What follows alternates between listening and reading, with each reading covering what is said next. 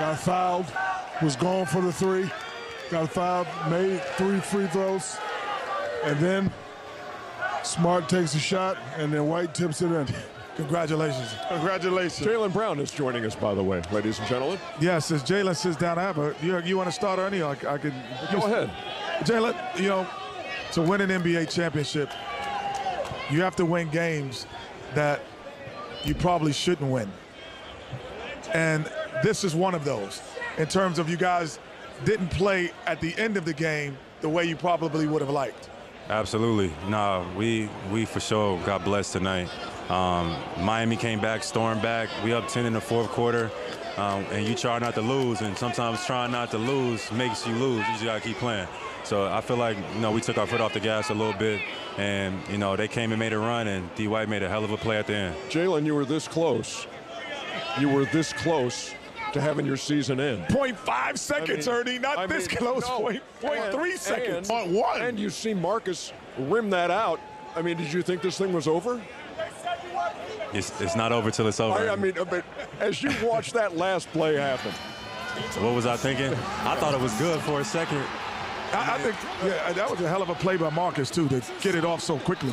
For sure, D. White come out of nowhere, man, like a flash of lightning. Look at you, look at you, like shocked. You're shocked right there. Hey, it's not over till it's over, Kenny. Hey, I'll take it. you know, Jaylen, I- yeah, it's like point two. Point one. Yeah, I don't understand. You said we're up 10. You guys got to win. What the hell?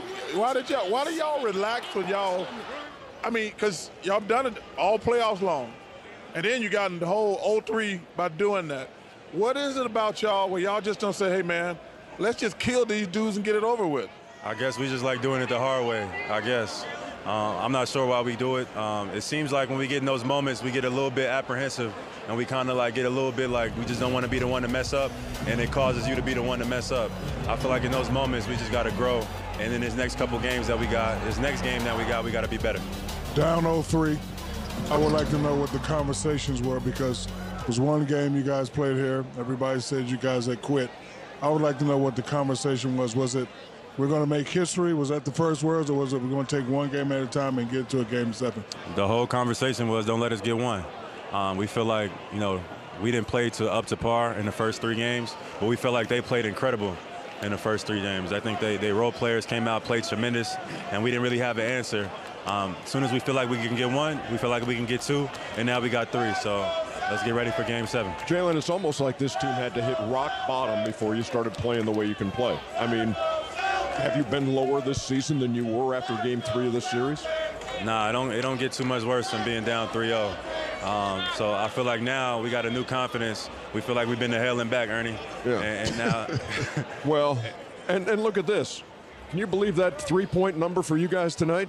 Seven out of 35, season low 20% from three. Uh, and you depend on the three ball you have all year, and you win the game. we had to we had to change our identity mid playoffs. I mean, we've been living and dying by the three ball kind of on offense, but we had to make a make a stand and be like, defense is going to win us these games. Defense got us in these games. Defense kept us in these games, and we was able to win tonight because we kept them at 100 points. You know what? I, I have a question that is a little bit different. Coach Mazzulla, at times in the media, have been getting really, really criticized by a lot of media around the country. Now it's time to give him props. What in these last three games has he done and made the adjustment and helped him grow as a coach instead of on the other side giving him the. Let's give him some flowers right now. Joe seemed to stay calm. Joe took all the blame. He tried to down the sword, but in reality, we was all in this together, and we all had to make adjustments. I had to see the game. He pulled me to the side. This is where the game is going to be played. It's not going to always be you scoring the ball. Find a way to make an impact on the game, whether it's rebounding, whether it's your defense, your presence. Um, so Joe's just been in our ear this whole time. His first year, but he got a poise. He got a mentality that keeps us in games, and um, now we back in it. We know you have other media obligations after this, and uh, so we have to let you go. But the last thing is, is do you believe what you just saw out there? Because I don't. Do you believe what you just saw out there? I don't, but we here. I appreciate you, man. I appreciate you guys. Jaylen All right. Brown, thank you Go, very Jaylen, much. brother. Wait, way to get back. Hey, Get back in it. you say you want to make history. You only make history if you win number four. Don't forget that. Just getting to game seven don't make history. Exactly. I got you.